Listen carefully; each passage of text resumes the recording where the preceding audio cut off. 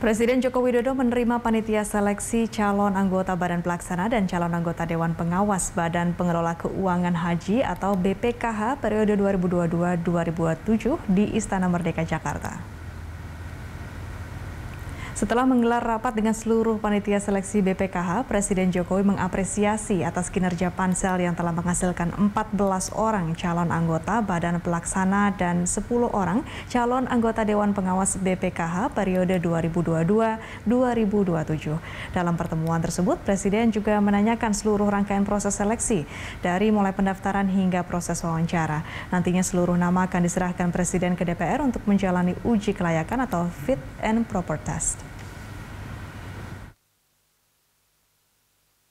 Pansel lengkap 9 orang terima Bapak Presiden Bapak Presiden pada saya memberikan apresiasi kepada seluruh anggota pansel yang sudah bekerja kurang lebih satu bulan penuh untuk bisa menghasilkan uh, eh, 14 calon anggota badan pelaksana dan 10 orang calon anggota Dewan Pengawas BPKH periode 2022 dan 2027. Dan pada waktu dekat Bapak Presiden akan menyampaikan terutama anggota Dewan Pengawas ke DPR untuk dilakukan fit and proper, terutama di